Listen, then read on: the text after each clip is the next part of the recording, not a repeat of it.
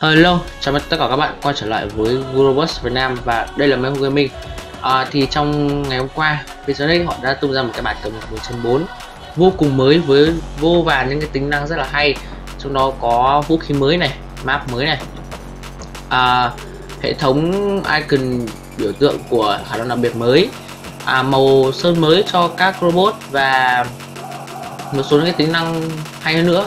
Và đặc biệt đó chính là cái lễ hội Halloween đó thì anh em có thể tham gia bằng cách là vào cái uh, chế độ uh, à anh em phải vào cái mục uh, nhiệm vụ rồi sau đó uh, hoàn thành tất cả những cái mục tiêu mà Pixelnet họ đã đưa ra rồi sau đó anh em sẽ được nhận thưởng. Và những cái phần thưởng là gì? Thì từ đầu nó sẽ rất là cái cái phần cái nhiệm vụ nó rất là rất là uh, nó nó nhẹ lắm. Rồi sau đó lên cao thì nó sẽ uh, khó hơn và yêu cầu anh em phải uh, siêng năng làm việc chơi thật nhiều thì mới có thể uh, đạt được cái phần thưởng đó. À, và càng lên cao thì cái phần thưởng nó sẽ càng uh, giá trị nha. Chứ còn uh, những cái phần thưởng như ở level đầu như thế này thì nó sẽ là ít. Và đầu tiên thì mình nhớ là họ sẽ cho 100 key cũng như là 500 mảnh redeemer như vậy. Đó. Rồi nhưng mà cái tâm điểm mình muốn nói hôm nay cho các bạn cũng như là ở trong cái tiêu đề đó chính là à, những cái điều mà các bạn nên biết về cái map mới là Castle. Thì đây sẽ là một cái map rất là mới mà trong bạn test server mà mình đã có làm rồi và cái uh, dịch sang tiếng Việt đó chính là lâu đài. Thì uh, trước hết thì các bạn phải hiểu đây là cái map này nó rất là giống đối với Valley cái map quen thuộc mà Pixelnet họ đã lấy tưởng từ bên bên Việt Nam của chúng ta.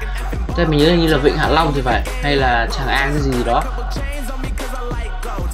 Uh, thì uh, đây là cái map nhìn nó trông rất giống là Valley tại vì nó có núi này cũng như là sông nhưng mà cái cái cái cái hình núi của trên này nó rộng hơn nó bao la hơn so với map Valley và nó không được uh, tươi tốt nói chung là nó không được xanh xanh lá như ở cái map Valley mà nó trông nó khô cằn hơn. Nhưng mà nó to hơn và rộng hơn rất là nhiều. Uh, và mình sẽ nói cho các bạn ba điểm mà các bạn nên lưu ý khi mà chơi cái map mới thế này. Khi mà các bạn chơi ở những cái chế độ uh, team hoặc là các bạn chơi chế độ free for all bắt buộc các bạn phải uh, lắng nghe cái điều này từ mình thì các bạn sẽ mình tin chắc chắn chắn là các bạn sẽ chơi tốt hơn nha. Ok đầu tiên đó chính là uh, đây là một cái map với cái độ rộng nó là trung bình. Nó không quá xa như những cái map sao hỏa hoặc là cái map uh, carrier mà nó không quá gần như là cái map Rome hay là cái map Powerland mà đây là một, một cái map trung bình đó. À, với khoảng cách à, theo mình đo được đó chính là ở các bạn à, ra giải phóng hai cái cột với nhau nó chỉ có tầm à, 600 đến 700 mét.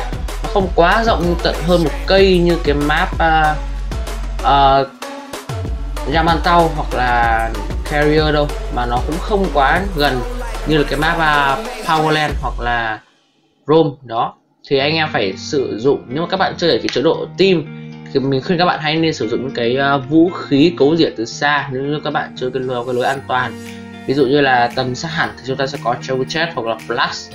Đó hoặc là tầm gần thì à không tầm trung bình thì chúng ta sẽ có Tulumbas hoặc là ờ, uh, Skirt Spark. Thì hoặc là Pulsar chẳng hạn Shredder để khóa chặn mục tiêu khóa chặn mục tiêu đó. Thì đấy là chính là những cái vũ khí mà theo mình là các bạn nên chơi theo cái lối cấu rỉa ở cái map Castle này map lâu đài này nó là cái map à, có cái khoảng cách là trung bình nha. Các bạn không nên sử dụng những cái uh, vũ khí mà nó quá gần ví dụ như là organ pin hoặc là shotgun năng lượng hoặc là shotgun gây uh, đa vật lý hoặc là những cái vũ khí nói chung là tầm gần khác. Bởi vì nó không hiệu quả như khi ở cái map này. Nếu như các bạn chơi ở chế độ beacon rush thì khi các bạn giải phóng cột đối thủ các bạn ở gần đó thì các bạn mới có thể sử dụng những cái thứ đó để cận chiến. Chứ các bạn không nên sử dụng những vũ khí này ở những đường cách xa. Mặc dù là không sử dụng được nhưng mà các bạn cái đội hình của bạn không nên có những cái vũ khí như vậy.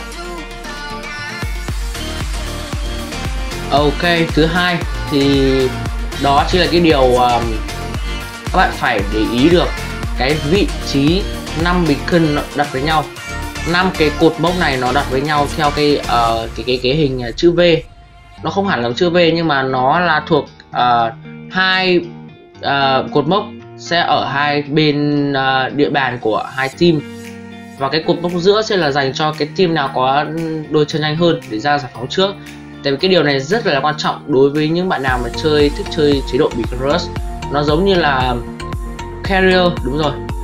Nó giống như Carrier nó không giống như roam.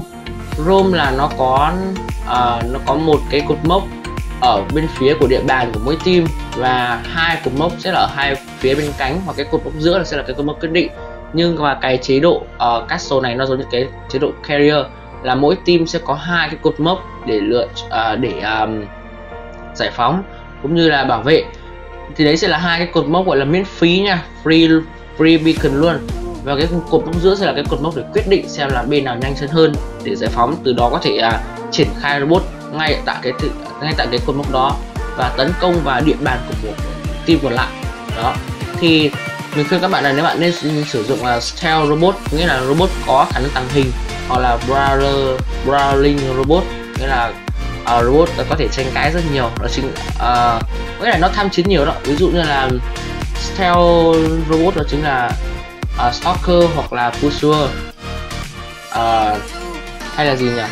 Hay là inquisitor chẳng hạn hoặc là cái robot nào mà brawling robot là Haichi, Orkin, Taran hoặc là các bạn có thể sử dụng Spectre, Orkin hoặc là Taran cũng rất là mạnh. Thì các bạn nên để ý những cái điểm này cho mình tại vì khi mà các bạn là chiếm được cột mốc hoặc là các bạn chuẩn bị chiếm được cột mốc thì những cái robot đó hai loại robot đó rất là phù hợp cho các bạn. Khi mà các bạn muốn um, nói chung là các bạn chiếm giữ beacon và bảo vệ nó thật là tốt để không bị đối phương à, ra giải phóng trộm cuối cùng là triển khai robot từ đó dẫn tới cái việc là thua ngược. Tại vì mình từng chơi rất nhiều trận thua ngược.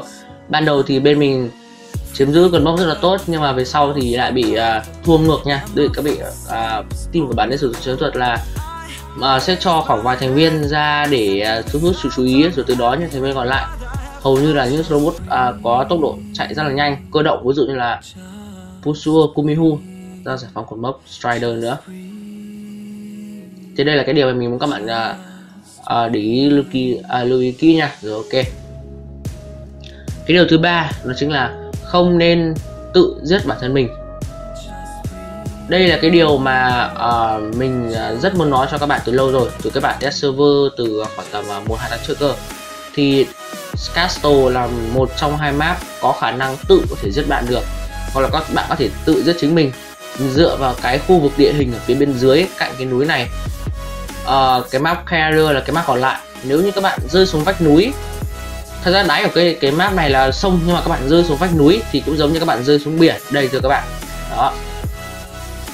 À, các bạn cũng giống như các bạn rơi xuống biển ở cái map carrier tại vì um, mình không hiểu sao nên là họ lại làm ra một cái hai cái map nó có thể tự giết chính mình nhưng mà rất may cho chúng ta là cái map Valley là cái map uh, uh, không có cái lỗ hổng nào để mà các bạn có thể um, tự giới cho chính mình. Thì đây là ba cái điều mà mình muốn nói khi mà các bạn chơi chế độ Beacon đặc biệt đó chính là cái chế độ uh, cái điều thứ ba khi mà các bạn chơi cái chế độ free for all. Thì khi mà các bạn đang ở gần cái khu vực là uh, vực núi vách núi ấy, thì các bạn hãy uh, các bạn hay dùng cái chiêu jump lên để có thể né được sát thương cũng như là chuẩn bị tấn công vào mục tiêu. Thì nhưng mà các bạn không không để ý rằng các bạn đang rất gần cái vách núi dẫn đến cái việc là các bạn là bị chết oan. Nó là cái tội vậy. Hãy uh, quan sát xung quanh trước khi có ý định muốn làm một điều gì đó tại vì nó rất là cần thiết và quan trọng đối với mỗi người. Rồi à, thì đấy là tất cả những điều mà mình, mình muốn nói với cho các bạn ở cái video lần này. Nếu các bạn thấy hay đừng quên like subscribe và share video này cho mọi người cùng biết để uh, tham khảo cái lối chơi tích hợp hơn trên cái map mới Castle và một điều nữa cho các bạn đó chính là cày thật nhiều event lên giống như cái event Halloween này. Rồi nó sẽ rất giúp ích cho các bạn trong cái việc là thu thập nhiều mảnh ghép hơn. Từ đó dẫn tới việc là lấy những cái robot hoặc là vũ khí các bạn chưa có hoặc là các bạn đang cần để tham gia chiến đấu các tốt hơn nhé chào các bạn và hẹn lại trong những video sau. Bye bye.